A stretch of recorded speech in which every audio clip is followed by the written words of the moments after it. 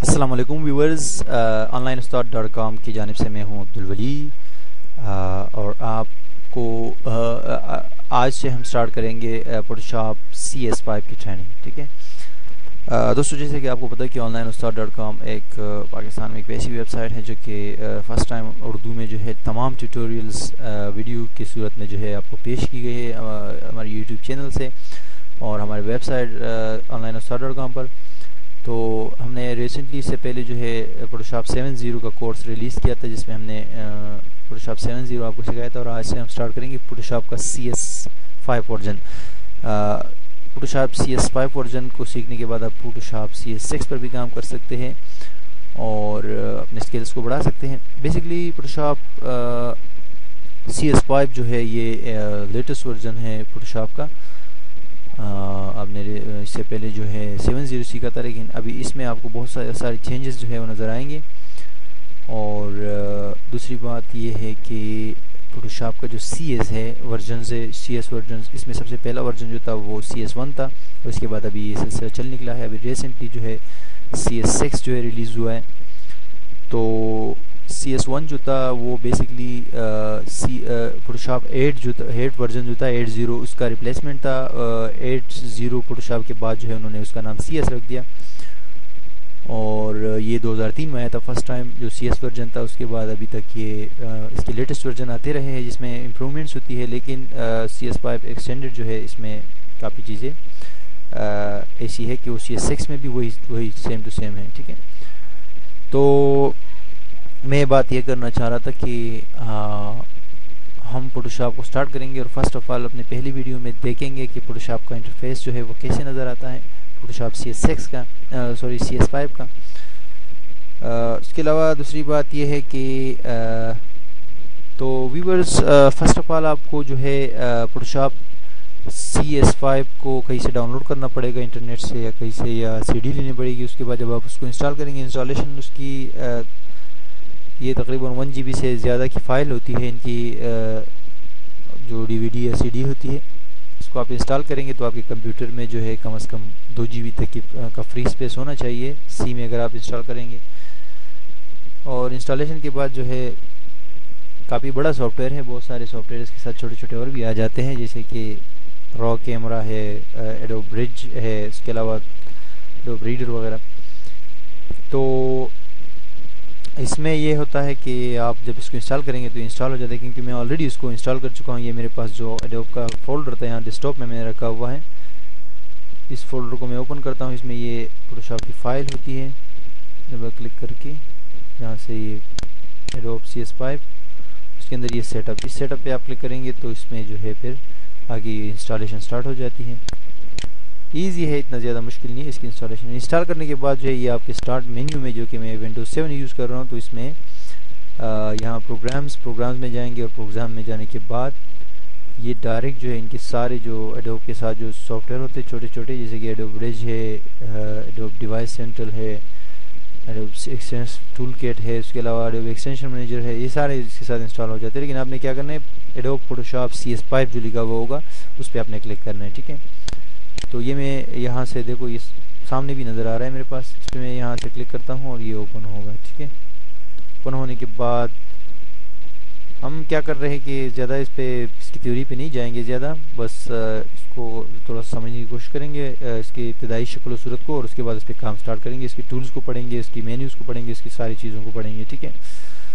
तो जैसे कि आपको पता है कि ये देखो ओपन हो रहा है, थोड़ा सा लोड ले लेता है क्योंकि हैवी सॉफ्टवेयर है, थोड़ा आपकी सिस्टम की कन्फिग्रेशन अगर अच्छी है तो आप इससे काफ़ी सारा फ़ायदा उठा सकेंगे, ठीक है?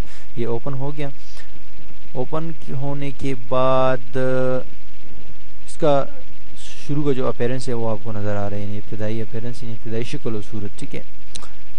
ये है आपका पुरुषाप सी एस फाइव ठीक है? तो इसमें मैं जो है आपको जो इब्तदाई चीज़ें हैं वो बताने की कोशिश करूँगा।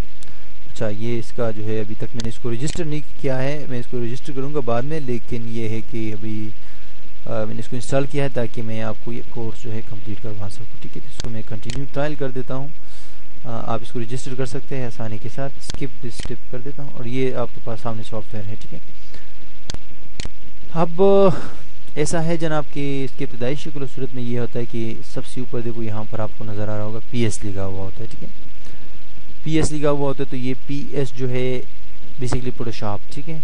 इसका एब्रीविएशन है। उसके बाद यहाँ पर कुछ छोटे छोटे बटन नज़र आ रहे होते हैं। इसको स्टैंडर्ड बटन्स कहते हैं, ठीक है? स्टैंडर्ड बटन से मुराद है जिससे आप डायरेक्टली किसी ख़ास जगह पर पहुँच जाते हो, ठीक है? ये मैं आपको बाद में समझाऊँगा कि ये बटन्स क्या क्या काम करते हैं। इसकी हम एक वीडियो में इसको डिस्कस करेंगे उसके बाद ये जो है आपका स्पेस बार होता है तो आ, इसमें क्या होता है कि सॉरी वर्क स्पेस इसमें आपको क्या करना होता है कि इसेंशियल पर क्लिक करेंगे तो इसमें ये सारे जो कुछ चीज़ें आपको नज़र आ रही है ठीक है? अगर आप डिज़ाइन पे क्लिक करेंगे तो डिज़ाइन में यहाँ पर तो थोड़ी सी चेंजिंग हो जाएगी देखो ये डिज़ाइनिंग मूड है ठीक है? इसमें कलर्स आ गए यहाँ पर कलर्स के जो मिक्सिंग के टूल्स है, वो आ गए, ठीक है, और यहाँ पर लेयर्स आ गए। ये होता है डिज़ाइनिंग मूड ठीक है, और एसेंशियल में ये होता है कि ये सारी चीज़ें ऑफ़ होती हैं, और अभी मतलब है कि डिज़ाइनिंग मूड में हम नहीं जाते। इस तरह प्रिंटिंग प्रिंटिंग में यहाँ पर प्रिंटिंग के ऑप्शन आ जाते हैं। इस तरह एरो पे आप क्लिक करेंगे तो और भी चीज़ें हैं इनको हम बाद में डिस्कस करेंगे, इनको आप यहाँ से छोटा बड़ा भी कर सकते हैं इन सबको एक साथ भी लेकर आ सकते हैं ऐसी कोई बात नहीं है।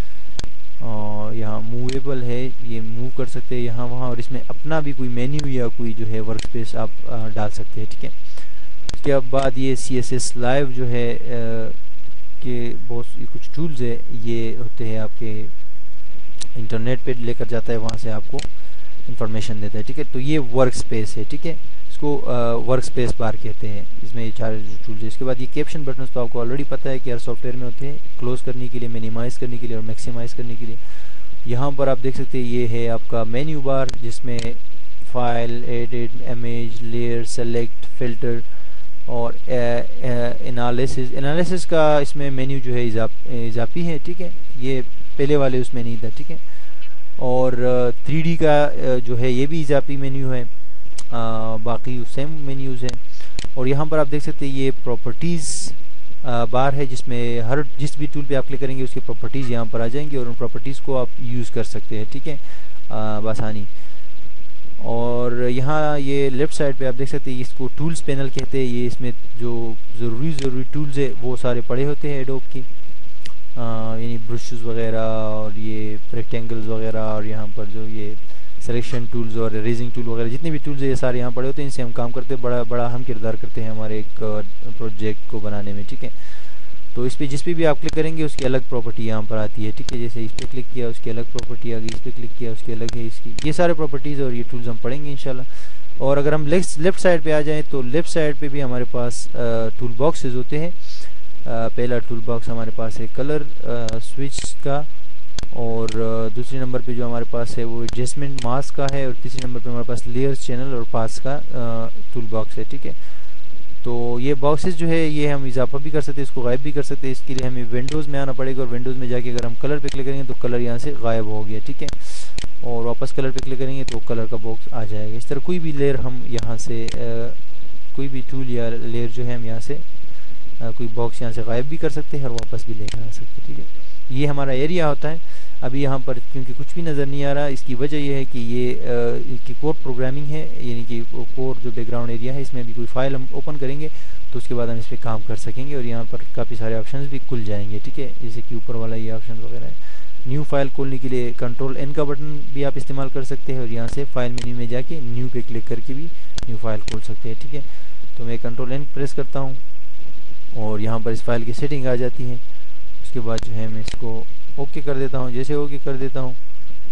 ये सेटिंग वगैरह हम आगे इंशाल्लाह नेक्स्ट जो वीडियोज़ हैं हमारे उसी में डिस्कस करेंगे। तो ये न्यू फ़ाइल आ गई, इसमें अभी सारी चीज़ें आपको नज़र आ रही है, ठीक है? इंक्लूडिंग ये जो एडजस्टमेंट्स वगैरह है, ठीक है? ये भी सारी नज़र आ रही है। तो बेसिकली यही होता है चीज़ें। अभी आगे इंशाल्लाह हम अपने नेक्स्ट वीडियो से स्टार्ट करेंगे। इसको सीखना कि इसके इन टूल्स को हम किस तरह इस्तेमाल कर सकते हैं लेयर्स को हम किस तरह मेन्यूज़ को और ये दूसरे जो ऑप्शन वगैरह हैं, इसको कैसे इस्तेमाल कर सकते हैं। और इसमें कैसे काम कर सकते हैं? Adobe Photoshop seven sorry C S five में। तो ये हमारा इंट्रोडक्शन है एडोब सी एस फाइव का। उम्मीद है कि आपको पसंद आ गया होगा और ऑनलाइन स्टार डॉट कॉम को विज़िट करते रहिएगा, हमारे साथ रहिएगा। इंशाल्लाह नेक्स्ट ट्यूटोरियल में आपके पास दोबारा हाजिर होते हैं।